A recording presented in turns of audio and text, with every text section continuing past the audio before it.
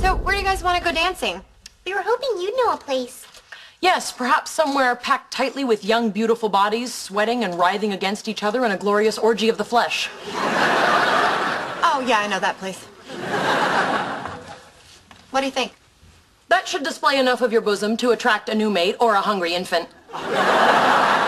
Okay, let's go through this one more time. Just because Leonard has a new girlfriend does not mean I need to go out and hook up with some guy.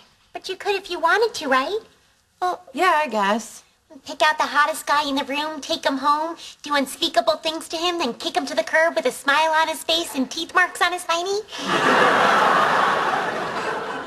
More or less. What's that like? I don't know. It's fun while you're doing it, and then after, it's mostly embarrassment, self-loathing, and regret. I would take that deal all day long. Yeah, well, tonight. You know, for the first time in my life, I'm not in a relationship, and I'm totally okay with it. You know, if being on your own is new to you, I'd be happy to share some tension-relieving techniques for ladies I've perfected over the years. For example, do you have an electric toothbrush? Uh, no. You should get one. What's that? It appears to be something preserved between two pieces of acrylic. Oh, it's a snowflake from the North Pole. Leonard gave it to me last year. Oh, God, that is so romantic.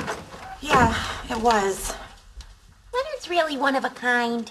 Saying that while holding a snowflake's a little bit heavy-handed, don't you think? Let me see that. Oh, screw it. I can deal with a little self-loathing. Let's go find me a hiney to bite. Outstanding.